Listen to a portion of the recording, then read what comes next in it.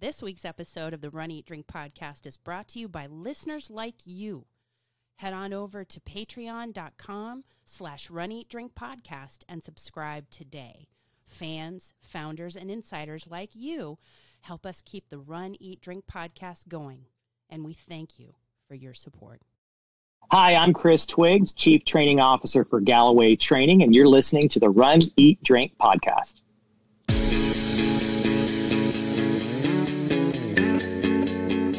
Welcome to the Run, Eat, Drink podcast. We feature destination races from across the country.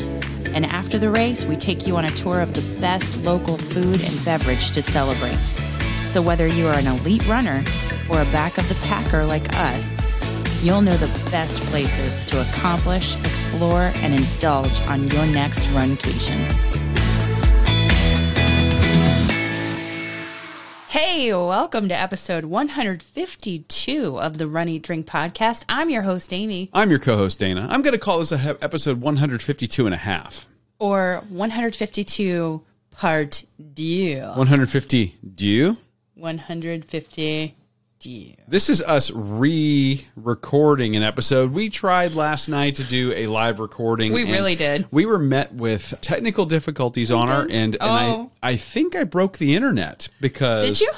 We've been without an actual connection to the internet in all of Southwest Florida. If you're a For hours. on our internet service provider For since hours. overnight, so.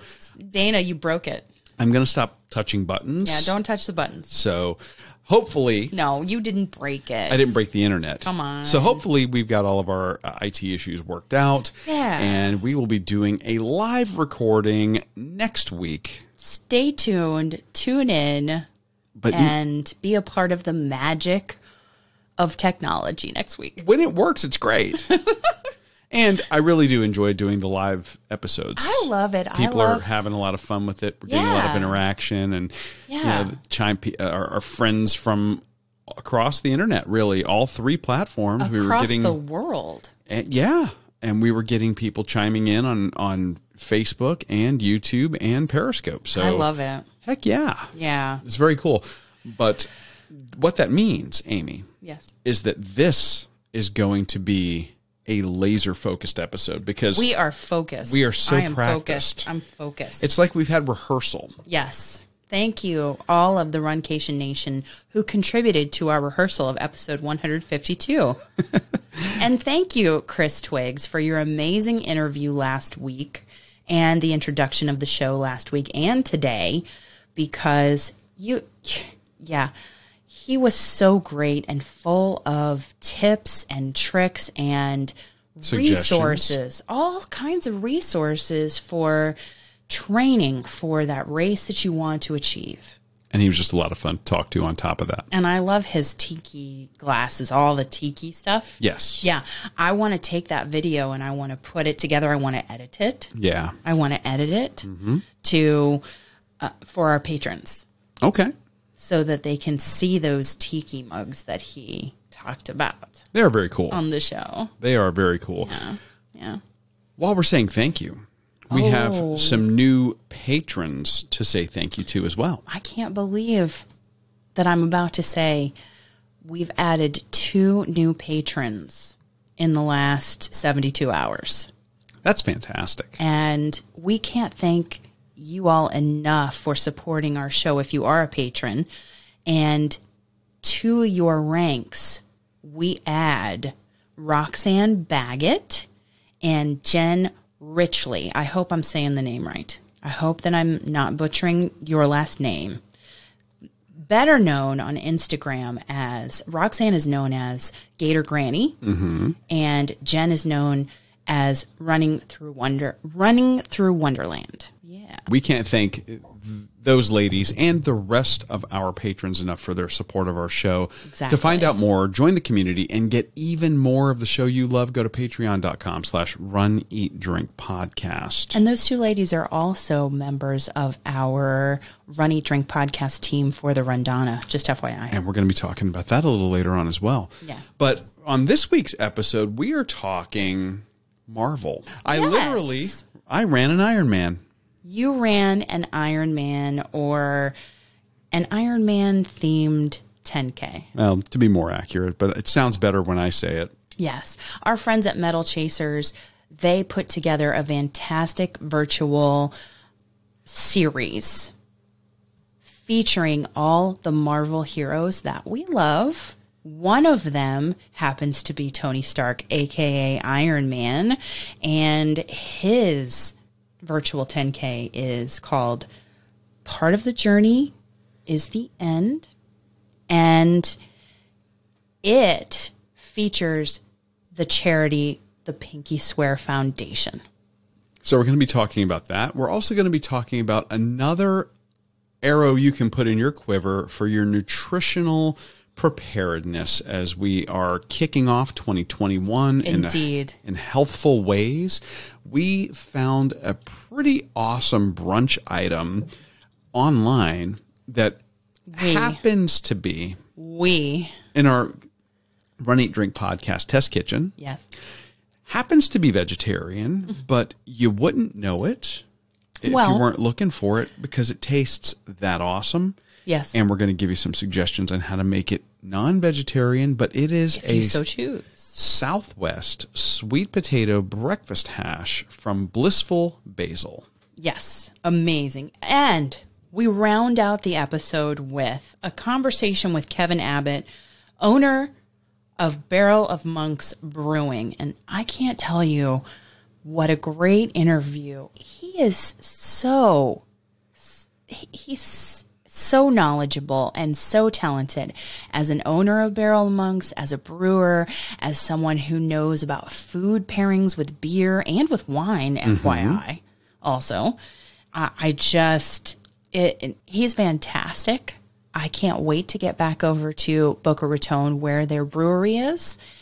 And he gets to talk about a beer that they brew every October to support a cause near and dear to our hearts. Cause that specifically dovetails in very nicely to this month. Of Yes. course, since we are running the Donna in support of the Donna Foundation, which Yeah. is fighting against breast cancer, this beer helps the fight against breast cancer as well. Yes. So we're going to be talking about that as well. But let's talk running first. Mm. Yeah, why don't let's get into it. Why don't you give us an update on your training? Let everybody know what's going on with you, Well, I'm not running, as we know, as we know. because So you're doing what the doctor said. my training equals recovery from surgery. And when I saw him at my most recent follow up, he said, You better not think about running for at least eight weeks. And you Which go I'm holding you to. and you get and and it's I know it's hard. I know it's really hard for you to hold me to it because I'm seeing everybody out there who has joined our team for the Donna virtual.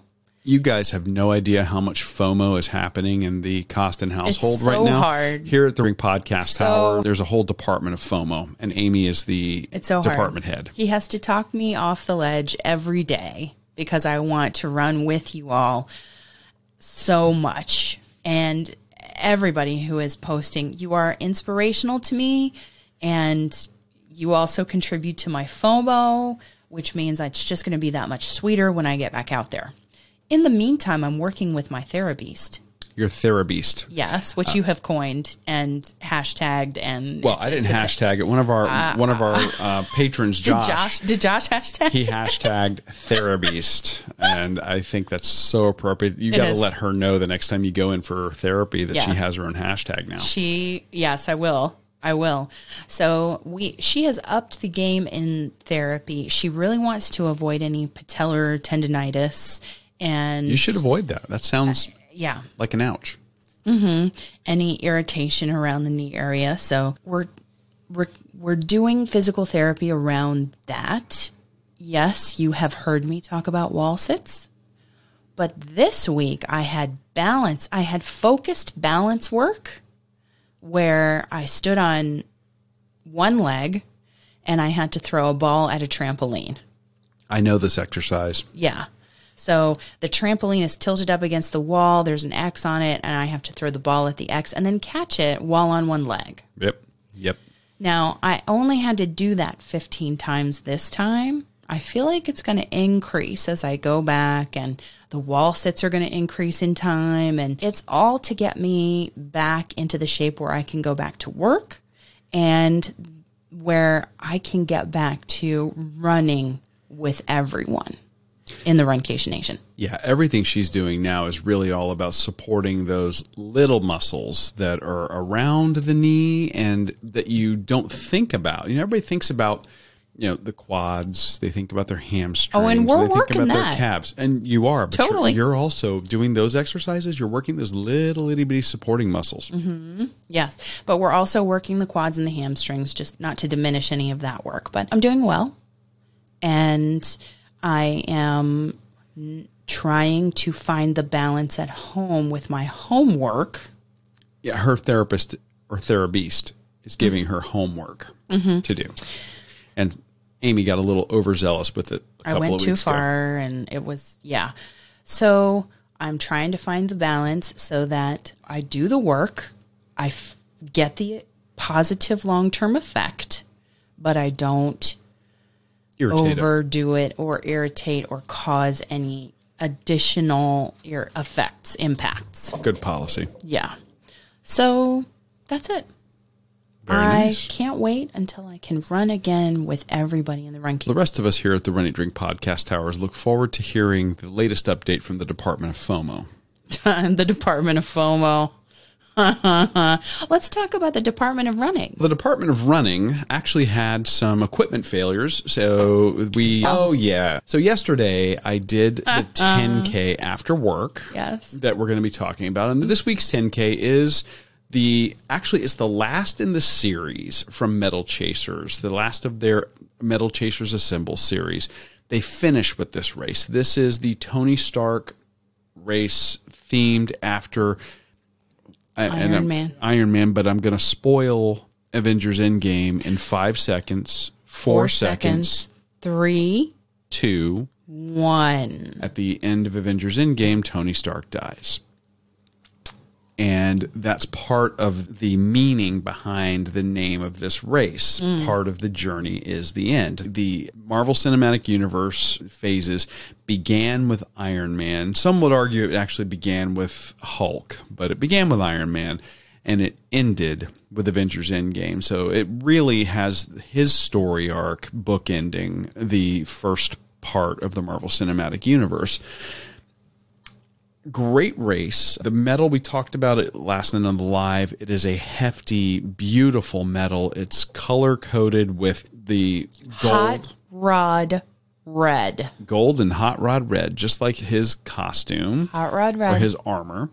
And what I love about the metal is it's showing Iron Man in flight with his hand outstretched. I love that. Mm-hmm. Like he's blasting with his repulsor, and there's a light feature on the metal. So you hit the button on the back, and the light flashes, looking like he's blasting his repulsor. And the what I like is that the title of this particular race is at the top, while Medal Chaser Medal Chasers Assemble.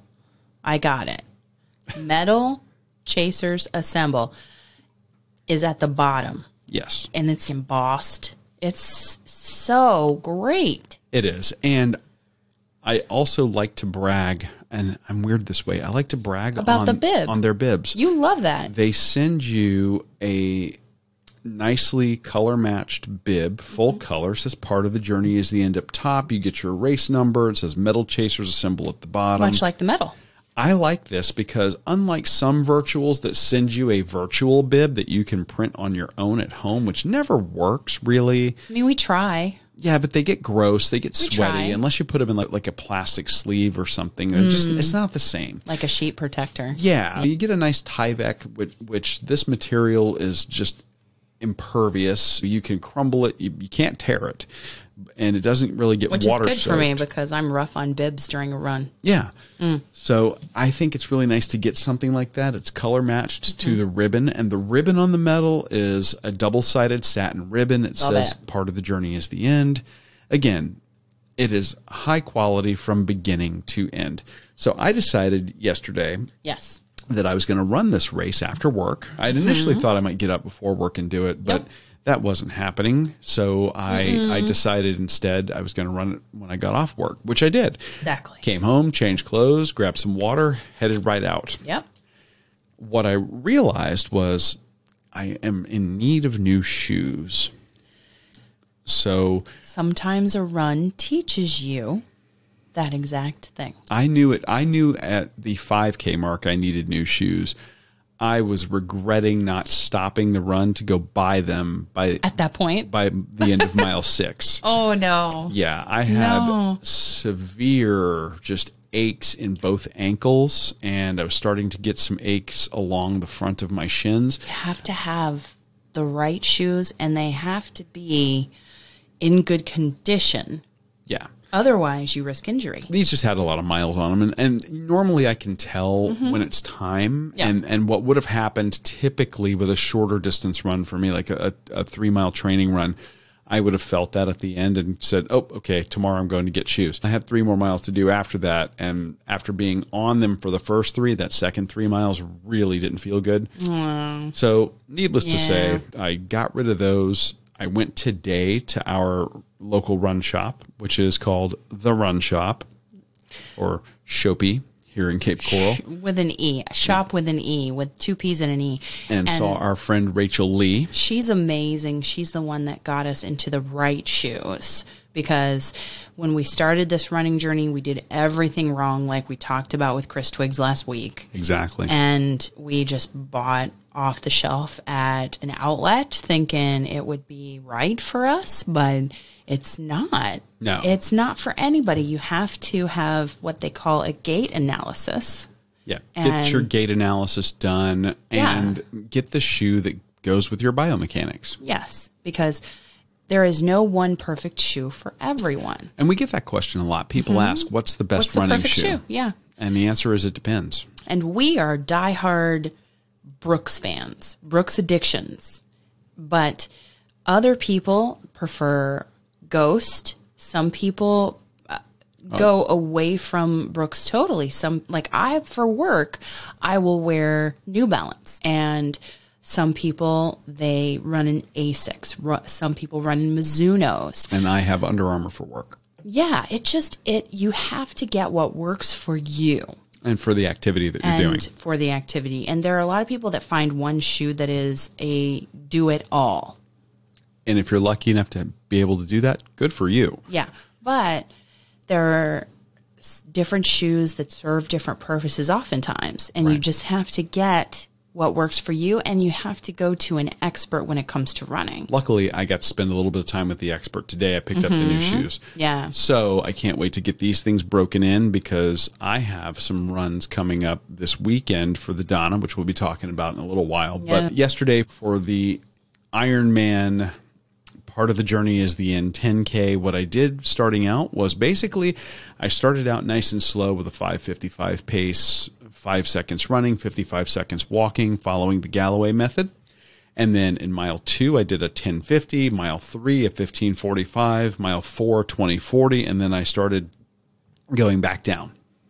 So he's giving you ratios of running in the shorter ratio to walking. Yeah, five in the number seconds running, seconds. 10 seconds running, 15, and then 20. Mm-hmm. So for me, it was a nice way to ease into it, peak, and then back off and finish. So my energy level was very good Mm-hmm. at the end, but at the end of that six miles, my feet were howling. Just done. yeah, they were done. Yeah. So yeah. this week I'll be breaking. I got a couple of uh, short runs to do before this Breaking in weekend. some new shoes. to break in the new shoes.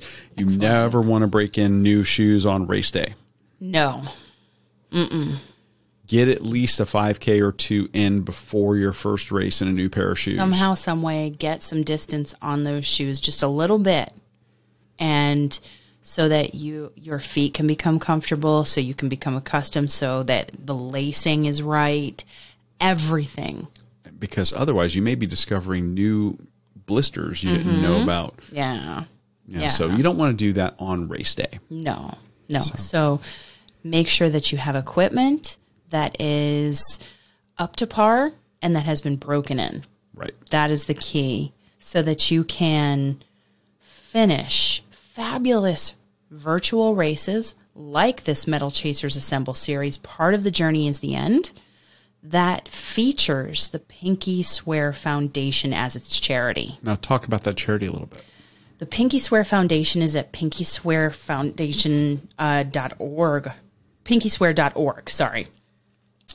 And according to their website, the Pinky Swear Foundation eases the financial and emotional impact experienced by children with cancer and their families, providing basic needs eh, providing basic needs support during very challenging times. It's just an amazing mission and I think one that connects to what we are doing as a podcast with the Donna. Yeah, it's So it's- much. Yeah, this is a similar mission to the Donna Foundation Yes. and complementary in in, in many respects. The fact that we're able to support more than one amazing organization this week with what we're doing. Yeah. I'm pretty happy about that. It's amazing. And again, we've talked about virtuals in the past Yeah. a lot of people are like, "Ah, I don't know about a virtual. I feel like I'm just buying a medal.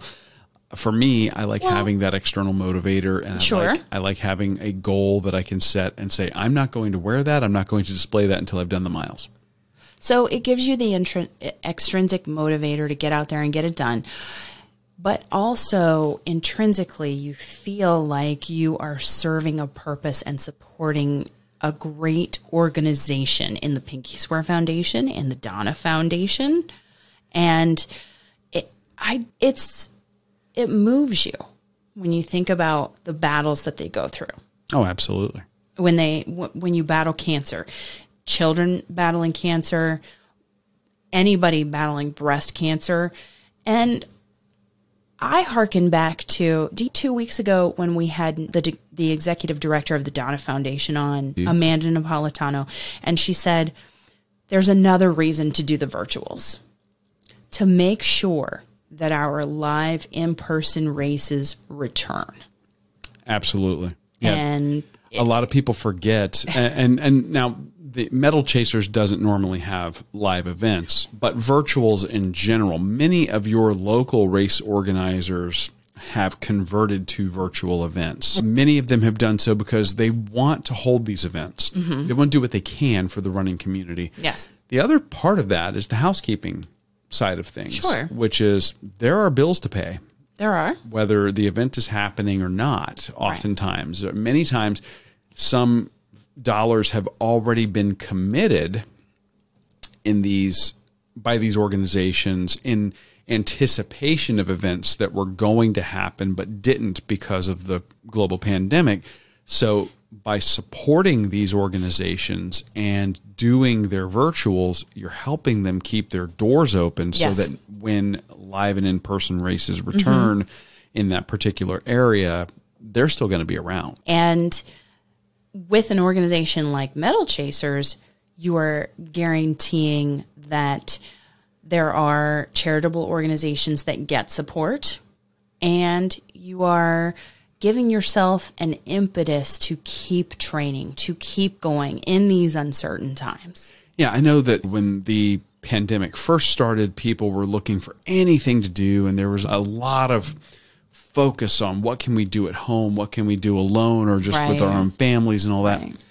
In in some parts of the country, that's a little more relaxed than others. Mm-hmm. But the fact of the matter is, for the most part, there's still a push for people to find events that are more socially distanced and more controlled. And by doing a virtual run in your neighborhood or in a in your local park, you're still able to participate with the rest of the running community, mm-hmm. but you're doing it in your own way, mm-hmm.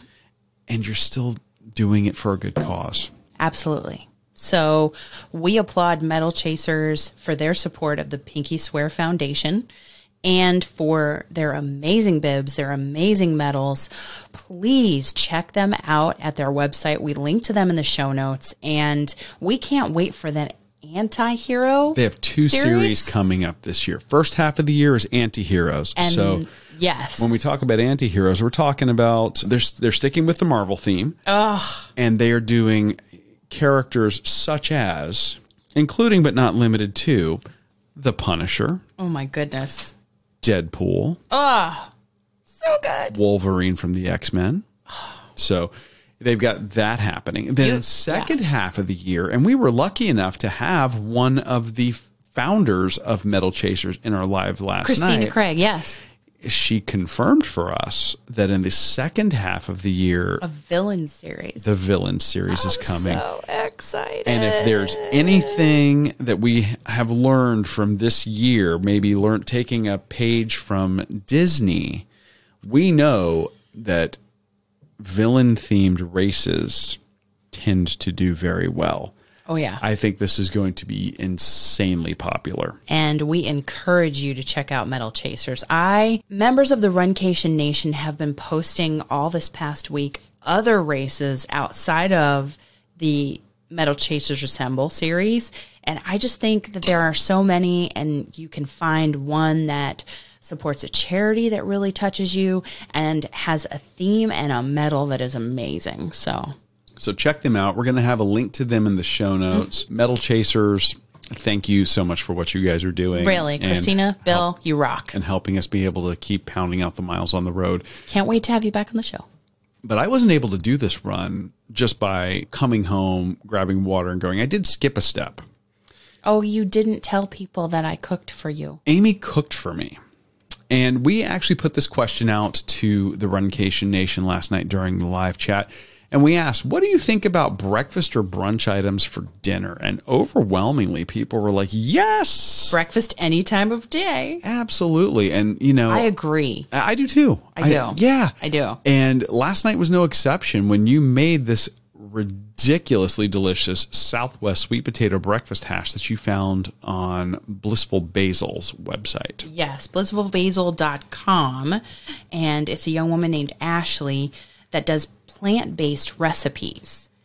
And it's just, we love to continue this series in 2021 where we feature healthy bites that we make in our own kitchen. We've talked about hummus as a snack, we've talked about Or chili. as a food group in our Oh, house. well, food group, yes. We've talked about cold soaked oats as a breakfast item. Mm-hmm. We've talked about chili oh, yeah. And the various ways that we do that when we are training and when we're eating vegan and vegetarian six days out of the week. And I like that we're bringing hash into this because a hash Hmm. is such a versatile dish because you Yes. can make it with basically leftovers and a potato. It's so true.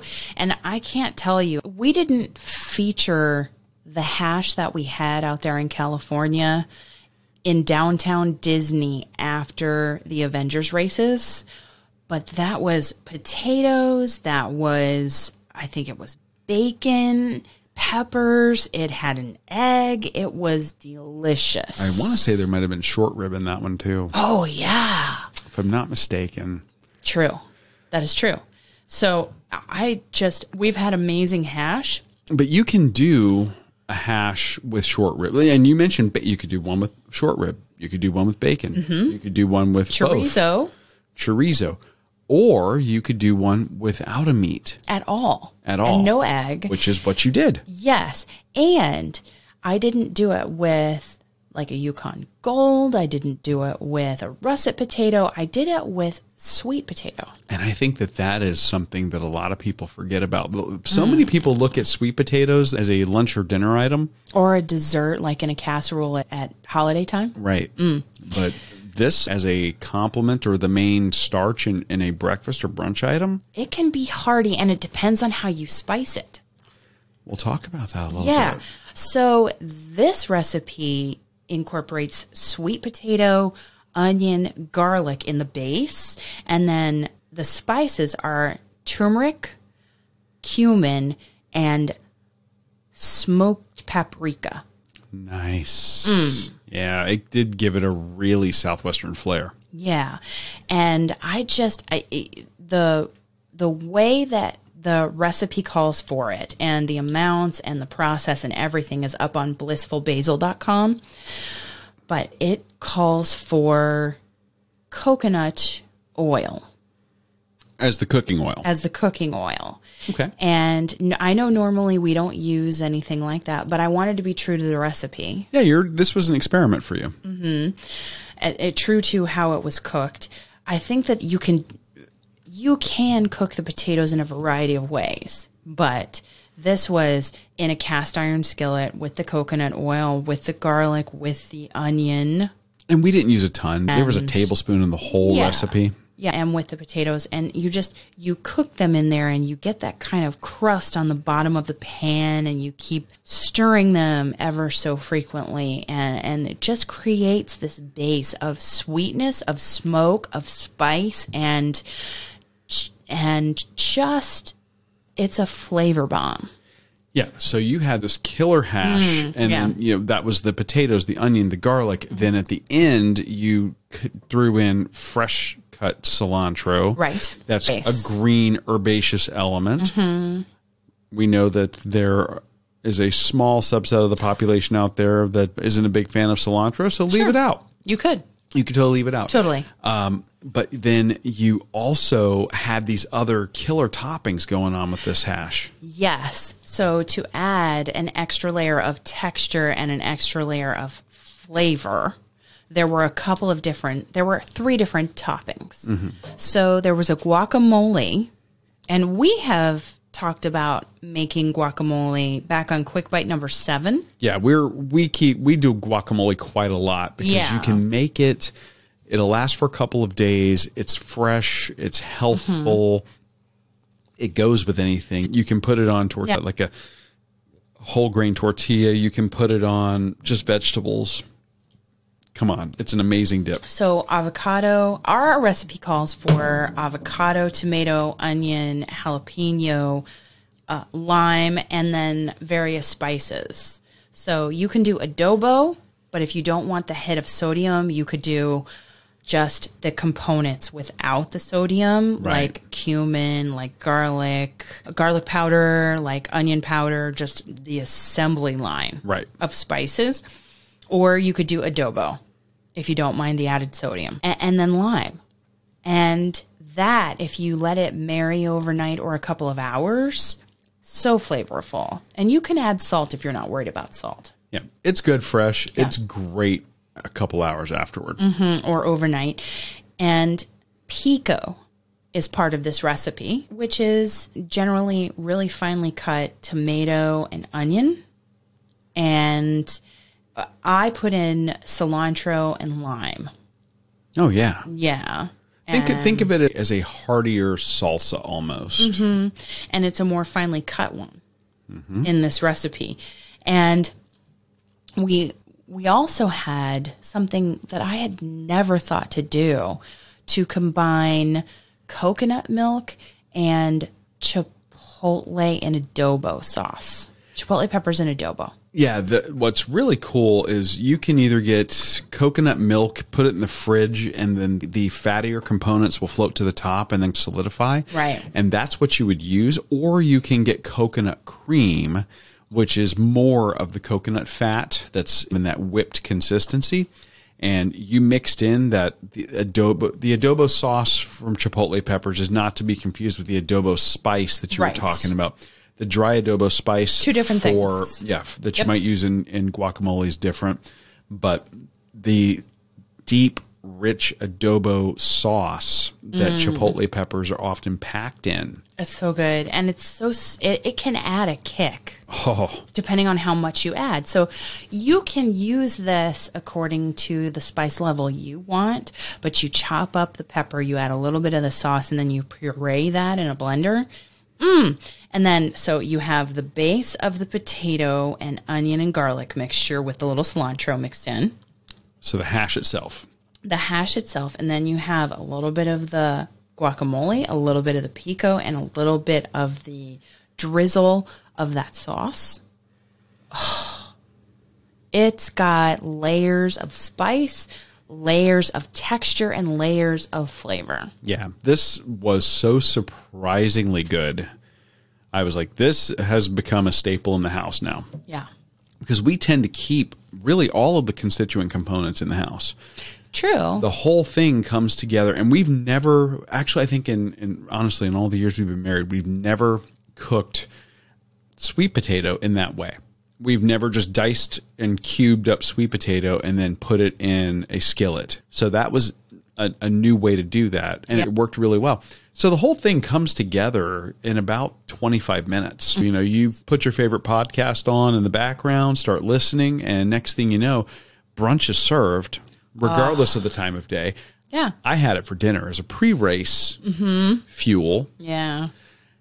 I thought it was fantastic.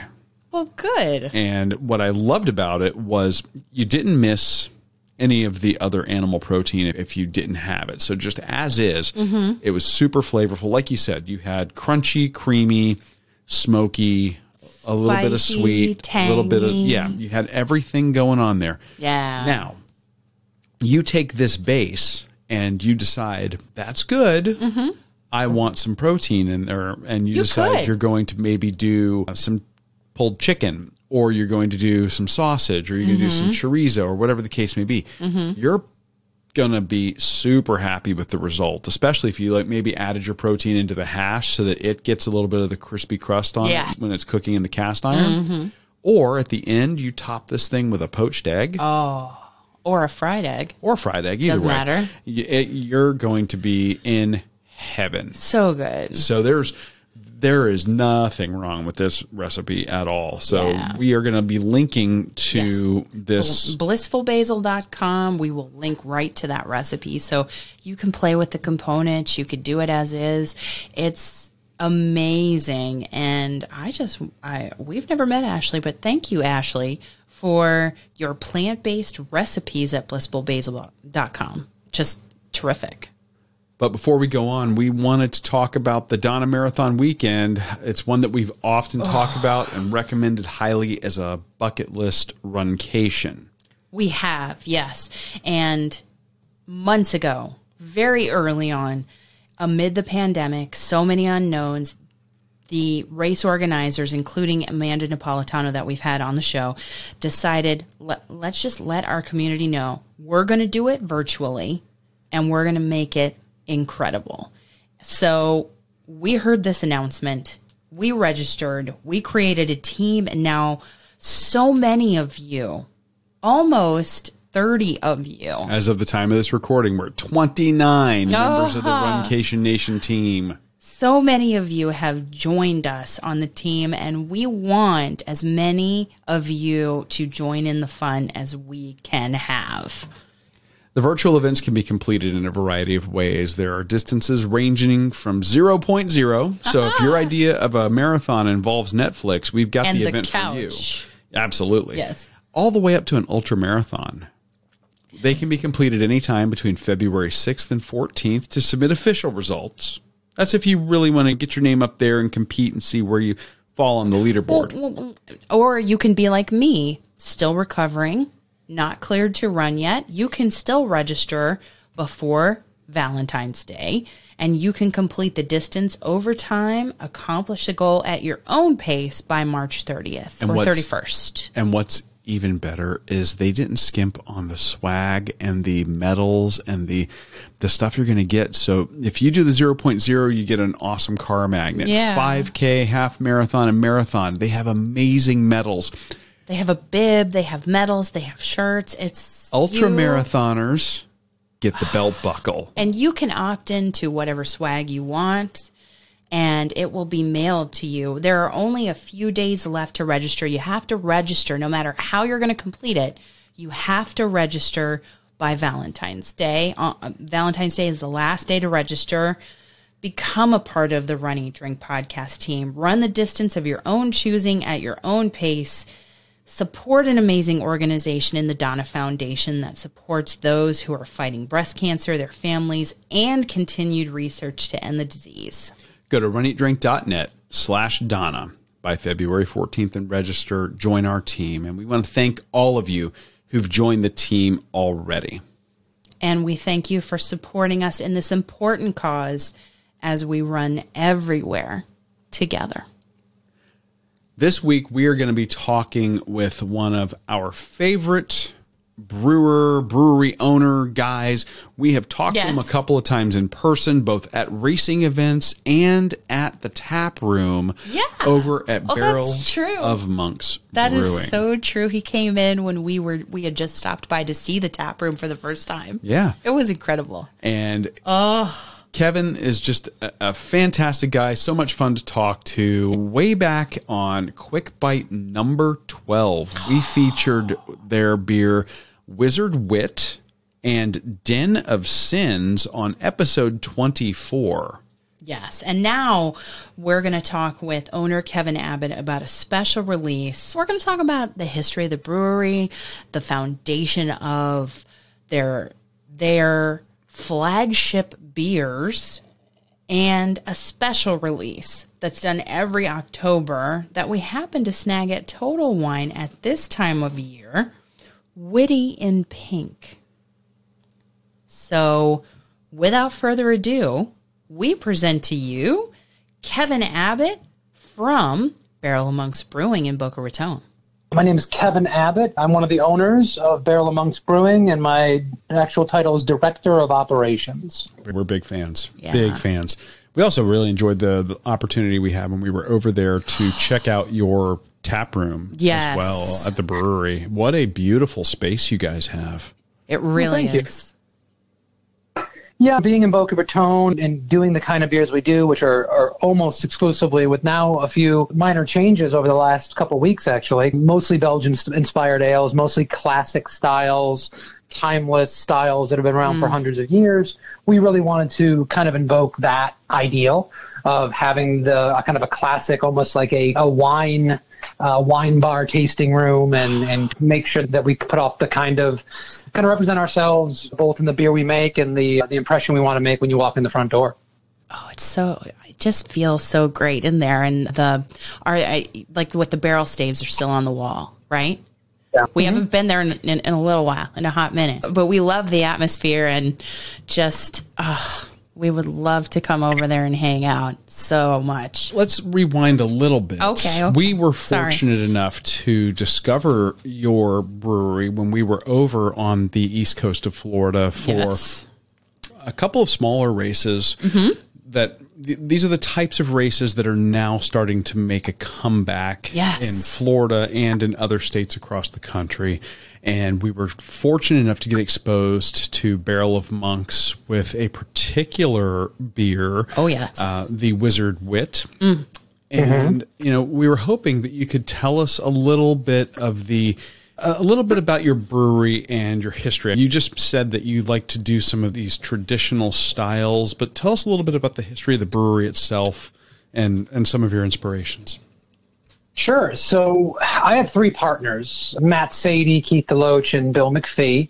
And these guys had, before I came along as their friend, they had already been friends for 10, 15, 20 years. They had been uh, early adopters of the craft beer movement, loving craft beer. And back then, in Florida in particular, it was a beer wasteland. You, you really couldn't get your hands on. There was very little American craft down here, but there was the stuff that was around was Chimay. It was Delirium. It was Yeah. Actually, not Westvleteren because that wasn't even distributed at that time, but Westmalle and the classic Trappist ales. So they fell in love with the Belgian ales then and ended up doing a lot of trips to Belgium, meeting brewers, going to craft beer bars, and then they decided, hey, listen, we want to have our own brewery. So their whole desire was to have a Belgian-inspired brewery. They felt that Belgian beer was the best beer in the world, so they started to put together their own little backyard homebrew setup and start down that road of trying to make great beer. Mm-hmm. And it was a long road for them, you know, 10 years in the making from when they first started kind of thinking about it to when it actually got done. And I was working at another brewery in South Florida when the craft beer movement in South Florida first started. This is back when the Cigar City was relatively new and all that. So it was really in the early days of craft beer in Florida in general. And I was a brewer and I made friends with these guys and they said, Hey, we want to have you come over and work with us. We'll give make you a partner and we'll be off to the races. So that was back in uh, 2015 Ooh. that all that happened. I started in actually 2014 in September, and the brewery opened in early 2015. In the beginning, and for the most part, still to this day, we only do Belgian style ales, meaning that we use Belgian style ale yeast, we use all European malted hops.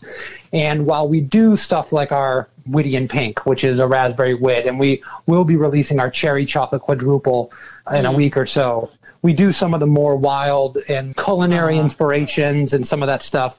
We do really hang our hat on the classic styles. And the Wizard Wit, which is our flagship, which is uh, with the beer that you uh, mentioned first. If you go into any good Belgian brewery, you got to have a good white or wit. And mm. Wizard is the the vast majority of our production is Wizard Wit. It's the first beer we ever brewed on our brew system. It is the straw that stirs the drink. It is the thing that keeps the lights on, and it is the beer that we're mostly known for. If you walk into a bar in Florida and see a barrel of monks draft handle, you're more than likely staring at a, at a Wizard Wit. So it's really an important thing. It's a 5.5% Belgian wit beer. It's clean. It's dry. It's brewed with orange and coriander. It's not as sweet as some of the commercial examples, your Blue Moons, your Shock Tops of the world, mm. and it's uh, it's a beer that we're real proud of. I think it's one that you really should be proud of. Oh my goodness, yes. I, you're talking my language as mm. you start talking about your love for Belgian styles. I, I mean, you're in friendly territory here anyway, and Wizard Wit is one that we've sought out and and purchased to have here at the house. Once we discovered it at that race. Absolutely. Mm. Yeah. And, and and that is turning our not turning our noses up at that's the, but foregoing some of the more readily available large brewery commercially available yeah. wits to find yours because mm-hmm. it has that great flavor profile you're talking about it's not as sweet no it's more dry but those notes really do come through the important thing in everything so first of all you've got the classic style guidelines and American breweries, for the most part, everything's bigger in the U.S., right? So if we're going to make if we're going to make a beer, it's going to be sweeter. It's going to be more hoppy. It's going to be more bitter. We're going to take whatever that nuance is and we're going to turn it up to 11, so to speak. Mm. And if you go into those classic Belgian, I'll tell you a quick story. So we've done a bunch of collaborations with Belgian breweries, including oh. uh, Fort La Pam, Abbaye des Rocs, some great small craft breweries. Some of them are some of the oldest in Belgium as far as their craft side. And we had the owner, I believe, of, of Abbey Rock, or no, actually, it was Fort Lapin was in, and it was trying our our triple, and the notes that they're looking for are so much more nuanced than what we as American breweries are looking for. And we were drinking through some of these beers, he's trying our beers and saying some very complimentary things. And when we went to brew our beer together, we made a beer with hibiscus and coriander, a triple with hibiscus and coriander. Now, the coriander we use in our wit is, you know, X amount of pounds per batch, let's just say. He cut the amount of coriander that he wanted to use in a higher gravity beer with a bigger flavor profile to one quarter of what we use. Oh, wow. wow. His thought is, I don't even want to tell you it's in there. I want it to be a whisper of that flavor. When we say something is, hey, there's orange peel in this, we really want you to taste it. Mm. That's kind of the American craft brew thing. Whereas a lot of the classic European beers, the German beers, the Belgian beers, they want these very faint, subtle hints that you barely notice unless you mention it. And I think we try to straddle that line. We try to uh-huh give a nod to that because that's subtlety, that's complexity, that is elegance to a certain degree. It's like a great bottle of champagne, right? Yeah. You get hints and notes and nothing beats you over the head. At the same time, we want to deliver the flavor and the complexity, the the punchy in the face aspect to something mm. that is that is is what the American consumer wants, and it's, it's hard. It's a hard. It's a hard balance sometimes to strike. Now, can I ask a question? I, I just I love your connection to the the rich history and that and the, the differences between the American scene and the European scene. Uh, but I want to go to the name if I could for a minute. Wizard sure. Wit. How did mm-hmm. that come up? What's the st- is there a story behind the, the naming of the beer, your flagship beer? This is not going to be as interesting as you want it to be. Okay. uh, we were trying to have a we had a hard time. Uh, ba- naming beers is the bane of my existence. Okay. You can come up with the best name you ever heard of. You can be struck by inspiration in, the- in the middle of the night and think you have the most creative, nuanced, once in a lifetime name. You check the, you check online, and there's seven beers named that. Ah, It is really tough to name beers. We were trying to come up with a name for our wit beer, and we like the alliteration of the two W's, Wizard Wit. And we do have some Lord of the Rings fans in our ownership group, and we ended up coming up with, with Wizard, and it really just kind of stemmed from there. There wasn't anything that was that much there wasn't that much more thought put into it other than the fact that we thought hey this is a cool alliterative sound to it it's going to have some good imagery to it and Well- we got a lord of the rings fan so it worked out I'm telling you, you said you didn't think it would be that interesting, but let me tell you, I was a classroom English language arts teacher for 10 years. So to me, that connection is awesome. I think. Can, uh, yeah but naming is tough i'll tell you it, yeah. That's is it Yeah. the toughest part of the process for you? it's one of the things is I've worked in several breweries over the years, and the amount of times where we've had a beer, a recipe, we've been standing around a tank with a finished product, going, "Okay, now what the hell are we going to name it?" That happens more often than not than the other way, where you're coming with a great name and you have to make a recipe for it. So Yeah. it's one of the more difficult things. I mean, don't get me wrong, making great beer, the the science behind it is complicated. There's a lot that goes into it, but what people the name of a beer is the identity of it. It's mm. people are looking for the story. It's the thing that's going to jump off the shelf at somebody. So there's a lot of anxiety built around it. Is this the right name? Is it going to resonate with people? So I think that's more where where we kind of lose sleep sometimes. Going, well, is this is this the right name for this beer? I guess we're mm. going to put it on there and see what see what happens. Marketing. And so yeah. you can't discount the importance of, of Yeah. good marketing because if you can make the best beer in the world, if nobody notices it on the shelf, then sorry about that. Our dogs decided that they agreed with us, and uh, they they occasionally will chime in on the show. But Well, they're smart dogs. they are, and actually, our girl dog loves beer, so she would try to get her nose into this pint if she could.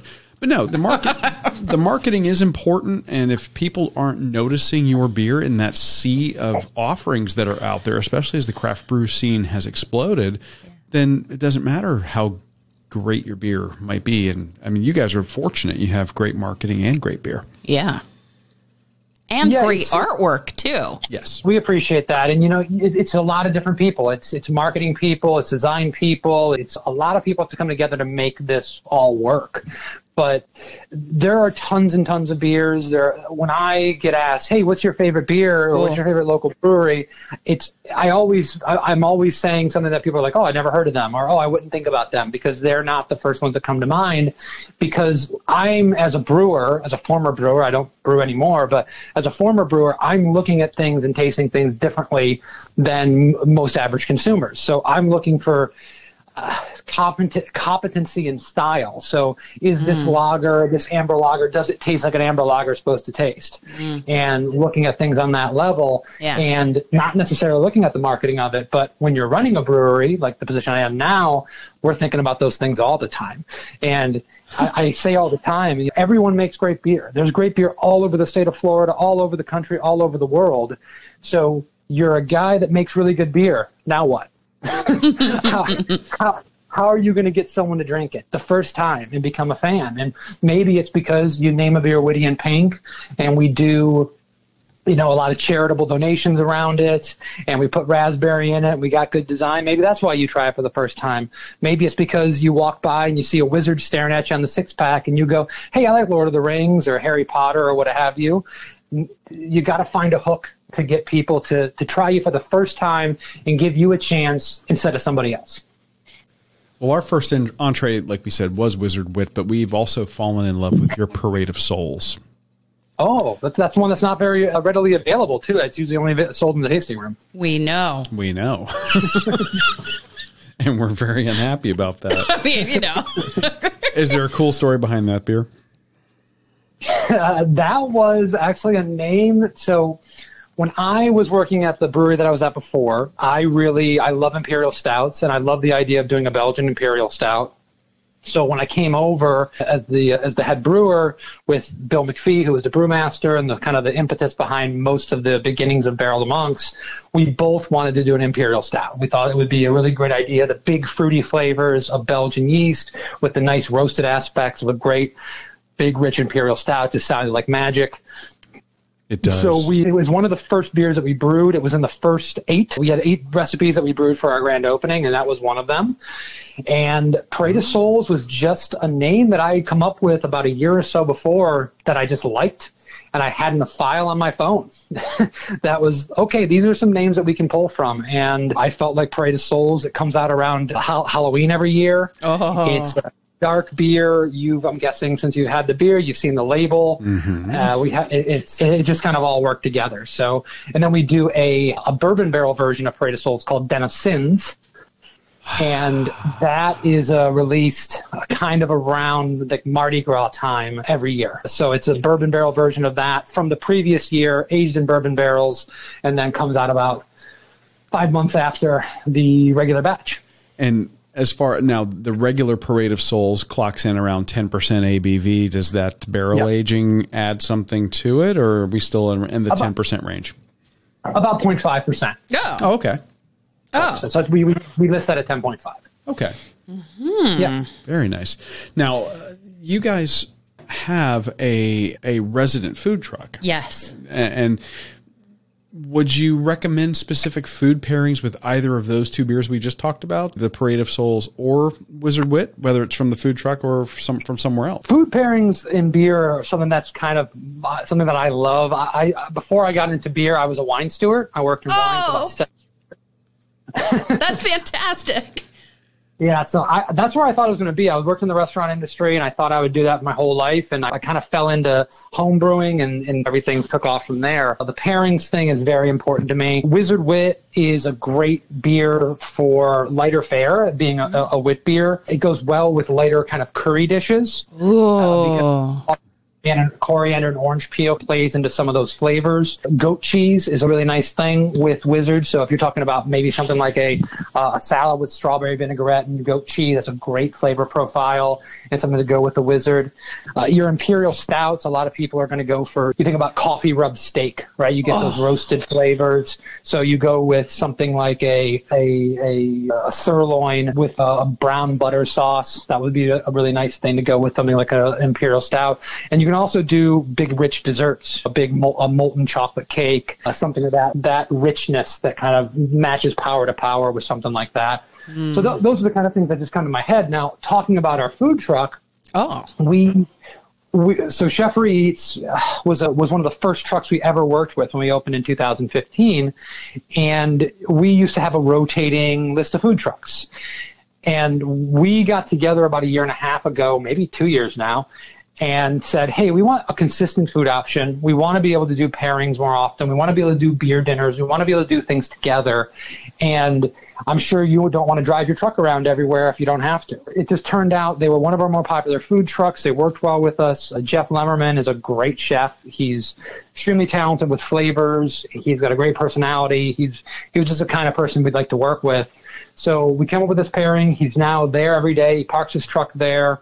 And it's given us a little more ability to do more interesting things because we have a consistent partner. And he does, he's won Best Burger in Boca, the, bur- the Burger Boca, the Boca Burger Bash. He's won Best Say that five times fast. Yeah.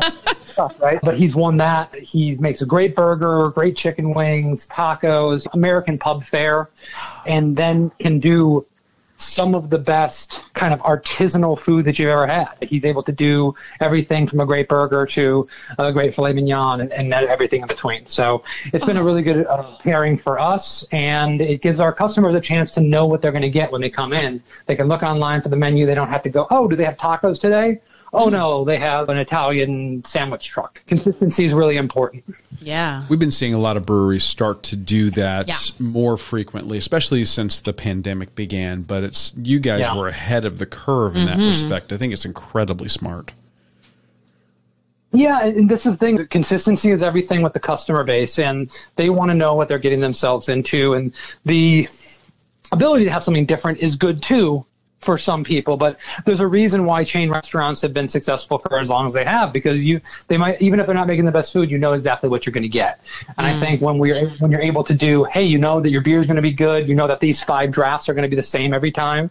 So if you only like your wizard, come in and drink your wizard. Uh, we'd love you to try something else, but hey, listen, enjoy what you know what you like. And when you've got good beer and you've got consistent and just so happens to be great food, it's a great match. So now to the reason that we're really here with you.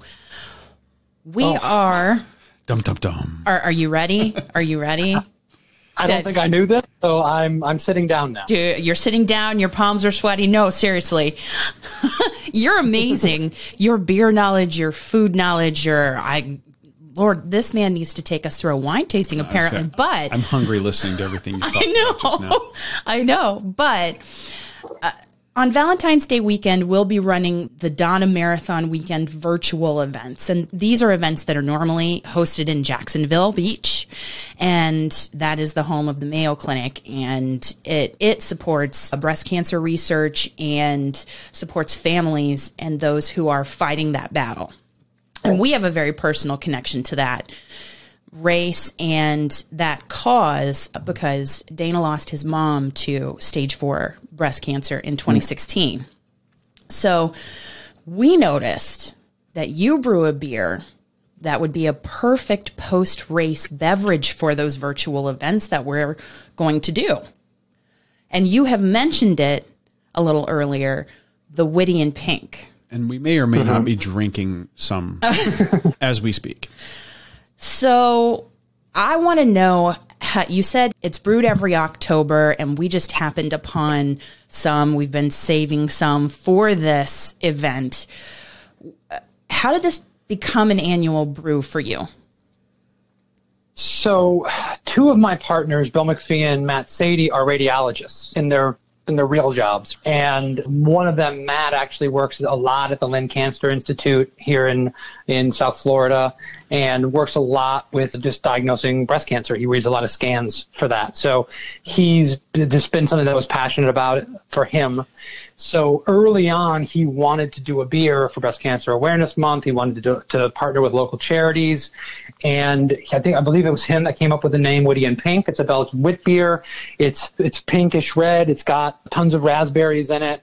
So it was really his baby, and it was up to us on the brewing side of it and, and the sales and everything to put the concept together and make it a thing. So uh, the first year we did it, we did very a very small run. It was in 750 milliliter bottles, only available at the tap room. Oh. We did a little bit of draft here and there, and we did a couple events around it, and raised a couple hundred dollars for a local charity. And every year it's just gotten a little bit bigger, a little bit bigger. For the last two years, we partnered with Making Strides Against Breast Cancer, a wing of the American Cancer Society. It's one of the biggest charities down here. Mm. And this year was really tough because of COVID, mm. because we weren't able to do so much of what we were able to do last year and raise as much money as we had in the past. But up until this la- this year, we've just been able to donate more. We donate a portion, well, actually, the profits of our package and our draft sales in the month of October to making strides. And it's it's just a really it's a great thing for us to be able to do, and being able to work with the people in that community and really bring Matt's kind of vision of what he wanted to this beer to be, and something that was dear to him. So I, I think it ticked all our boxes. I, I love the flavor of this beer because I don't consider it a dessert kind of beer. I think it would pair well with many different kinds of food. Am I right? Am I right? Well, so I mean, first of all, you're right because it's your opinion, and that's what that's the flavor. You can you can pair that beer with anything you want. One of the things I mentioned earlier about the Wizard Wit is the fact that it's not sweet. The beer in your hand that you're drinking is not sweet. No. If anything, it has a little bit of tartness to it. Yeah. And a lot of beers, when they're done with fruit, they leave a lot of residual sugar in it. Yes. And it makes it so it's cloying. It's really good for the first couple sips, but you don't want to continue to drink it. Yeah. And we're in Florida. It's hot 99% of the time. So we want to have something that's refreshing. We want to have something that's quaffable. We want to have something that is going to be a introductory beer to a lot of people that don't necessarily like IPAs or drink craft beer or, or think they like craft beer because they've never tried the one that they like. So Witty in Pink was meant to be that. And who doesn't love a great raspberry beer? I mean, or raspberries in general, raspberry dessert, eh, the tartness, the fruity flavors, they just kind of marry together. And this beer starts its life off as Wizard Wit. The base beer for Witty in Pink is Wizard Wit with a slightly modified orange and coriander bill, oh. and then we build in all the, the raspberry on top of it. So it's a spin off of our classic beer, and it's something that we're able to do and, and for people to enjoy. I think it's amazing Yeah. that you guys developed this beer with this cause in mind, mm-hmm. and you didn't just come up with a cool gimmick. You actually created a delicious fruited beer Yeah. based on that that classic Belgian style, and it's incredibly approachable. It's like you said, uh, not cloyingly sweet. It's something that you can drink more than one of, Oh, yeah. and and not feel bloated, weighted down, and, and fe- or feel like you've just had dessert. It's a fantastic offering for something that many other breweries or, or places might just make as, as a gimmick, so to speak.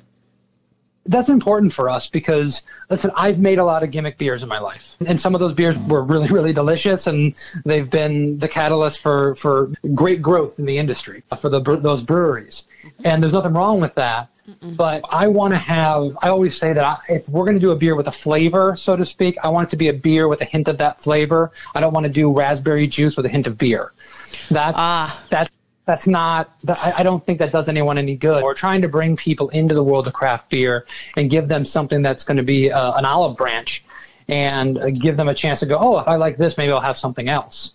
Uh, you know, too often we look at some of these beers as being a little more one-dimensional, or they just they're like I said, the cloying sweetness is something that always gets me when it comes to a lot of these fruit beers or gimmicky beers, and we're always toeing that line, trying to get it to be something that's really drinkable, really refreshing, and will cross a lot of uh, boundaries. I would say this one is in particular, it's sessionable and it's not overly tart. It's not like, it's not sour. it's not a sour. It's not pucker your lips sour. That's that tartness. Yeah, and, and the thing is, is that just like everything else, if you're a good chef, you're always refining your recipes. You're always tasting it, going, ah, you know, we can do a little more of that, a little less of this. This beer is different than it was in 2015 or 2016. We've refined this recipe over time. We've worked with it. We're always trying to get better. We're always trying to take feedback from people. And that's part of this. If we just recently brought on a new brewer, Joel Codner, who's a friend of mine who I've known for years. And he, he came in and one of the first things I said to him is that none of our beers are finished yet. Even Wizard, which is our most popular beer, and a beer that we brewed more than anything else. It's not a done it's not a done property until you think it's the best wit beer in the history of mankind. it probably will never get there, so it's never going to be a finished beer. We're always going to be looking at it, analyzing it, trying to trying to make it better. I love this, the Witty in Pink. I, I love that it's connected to a great cause that's near and dear to our hearts. We also love, like we said, your Parade of Souls, your Wizard Wit. And if our listeners are tantalized and want to try and how could they not be? So I know, right? How can they get some Barrel of Monks beer? You mentioned, I think, earlier on that you picked up some of the beer at Total Wine and More. You I can did. find Wizard Wit at Total Wine and More pretty much across the state. Nice. Uh, you can find it at pretty much every Whole Foods, uh, Hmm. both Wizard Wit and our single in Havana, which is our Belgian blonde ale with guava, which is our, our kind of second flagship. It's another year-round beer that's been very popular for us. We actually launched that as a year-round beer during a pandemic, which is oh, no great kidding. for sales, but it's actually done really oh. well for us. So you can find those beers pretty readily available at those kind of chains. Oh. And other than that, we do some business all over the place. We are much more popular in South Florida. So mm-hmm. if you walk into, you can walk into gas stations, you can walk into public stores, some in like Boca Raton, you can find our beer. Mm-hmm. But as a craft brewery, we don't have the penetration where I can say, hey, any place you can buy beer, you can buy Wizard Wit. Right. We're not quite there yet. We're working on it but craft centric bars and restaurants all throughout the state. You can usually see our tap handle. Yeah. And if you don't see it and you're interested in it, ask the bartender about it because they might be able to get it. I'm going to tell you, I we saw it on tap at number three craft brews over here. In Cape mm-hmm. Coral, that's Yeah, in Cape Coral. Okay. Yeah, it's a tap room and package store. That we absolutely love that is Star Wars and Star Trek themed, and we just Oh, cool. and, and they get unique and awesome beers, and it's to be expected with yours. Yes. You know what I mean? so I- I feel like you have a big anniversary coming up. How, how many how many years is it? And is it in March? So this will be our sixth year anniversary that's coming up, and we're going to actually. It's usually in late March, but just because of all the holidays and everything, we're actually going to be doing the anniversary. I believe in the second week of April. Oh. I think it's April 10th. Oh, We've just pushed it off a little bit because we can. It just makes sense for us to get it past uh, all the holidays, holiday around that time. So yeah, it's going to be April 10th. We are really doing our best to do to do social distancing right and not pack the tap room as as full as possible and be responsible. Once again, two of my partners work in the medical field. We know how how serious things are, and we want to make sure people are staying safe. So, for example, we actually just did a big can release. We've never done cans before. This last Saturday, and we Oh. did a tailgate. We actually did our first. We had a independent company with a mobile canning line come through, and we did an IPA for the Oh, first cool. time. And we've never done an IPA before, so we are branching out, trying some new things. We did a tailgate party around it, so everyone was nice and spaced out. While we won't be doing that exact same concept for our anniversary party, it will be something similar. But we'll do our best. Uh, we've got a big. You guys have been there. We've got a. We're in the middle of an industrial park. But Yeah. over the weekends there's no other businesses running so we've got a Plenty huge parking. parking lot to play with yeah Opportunity. Uh, so we'll- yeah so, so we'll do something with that we're going to be releasing our, our anniversary beer and for the first time ever we're actually doing our anniversary beer in cans oh, which is a year for us, and we're doing a double IPA. And that is, as I alluded to earlier on, as a as a Belgian brewery, we have not dipped our toe into that water so much, and we've been refining an IPA recipe over the last five years. Wow. And when we finally thought that we could do it right and we could do it as good as some of the other great breweries in Florida and all over the country, we said, hey, let's try something new. Let's try the cans out. We're still doing everything else in bottles. We're still doing our 750s. We're still doing bottle conditioning. Mm. It's not changing who Barrel of Monks is, but it's giving a different window into some other things that we can do. So we'll be releasing a double IPA that day. We're releasing a quadruple with coffee and cocoa nibs. Oh, hello So there. coffee Oh, chocolate Hello, lover. yes. That sounds Uh, amazing. Yeah. So what we're doing both those beers as a can release, as a release that day, and we'll have some real fun drafts on. We'll have some vintage beers on, and really we're still figuring out what that day is going to look like because things are so nebulous at this point as Yeah. far as what we'll be able to do, where the vaccines will be at that time. So we're just playing it by ear, but we are going to do something on that day. We are going to have a special can release, and it's going to be real cool. We may have to try to find our way over there Oh, around that time. April 10th, you said, in Boca is where your tap room is, and it's barrelofmonks.com, correct? Correct. And you're on all the social media things, yes? Yeah, type Barrel of Monks into Facebook or Instagram or Twitter if that's still a thing. Yeah. You can do all that. You can find us. And we'll link to all of that so that people can see what you have and, and in your feed and, and what's coming up in terms of that anniversary and, and all of the thank you for great that. things that you have in the mix because we love your brewery. We love your beer. Kevin, thank you so much for taking all of this time to talk about your brewery, your beer, more specifically your Witty in Pink, and your passion. Your passion. That was Kevin Abbott, owner and director of operations for Barrel of Monks Brewing. I cannot wait to get over to that tap room and just have their beer in that setting and just see Kevin again. He was so generous with his time and what a knowledge bomb. Yeah, and I- do love their space over there, th- their tap room. It's just a fantastic space. So much fun, and I love their beer. I, I really do. I haven't had a bad beer from them yet. Wizard Wit is the one that's widely available across Florida that I think you'll find at Total Wine. I hope you'll find it at ABC. We always find it at Total Wine.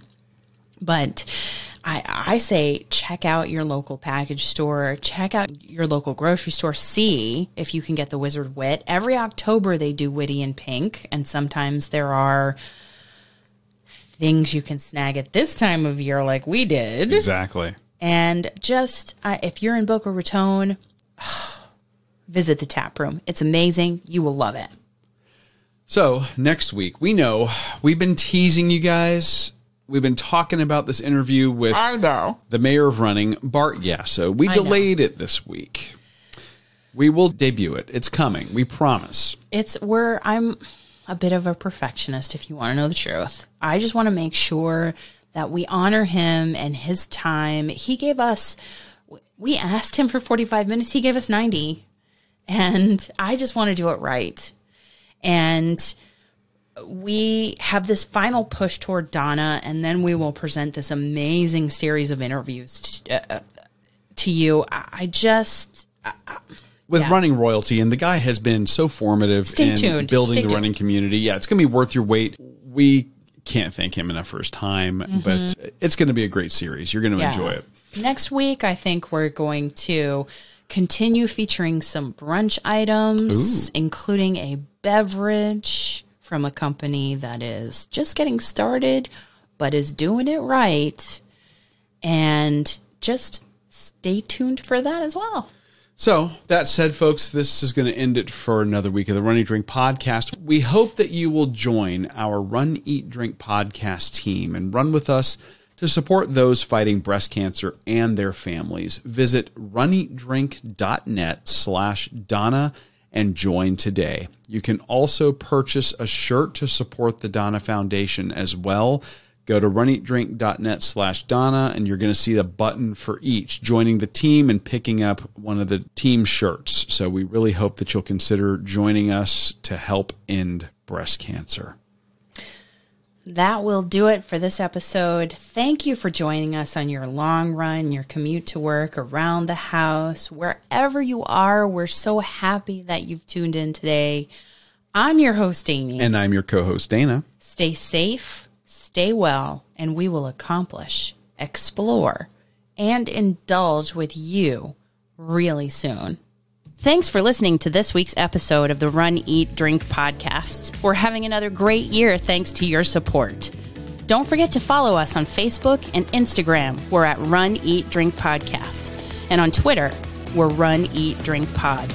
You can also give us a call at 941 677 2733 or send us an email at info at runeatdrink.net. Visit our website at runeatdrink.net and click on the subscribe link so you don't miss a minute. Find out how you can support the show at patreon.com slash run eat drink podcast. Accomplish, explore, and indulge right along with us. We'll talk to you next time.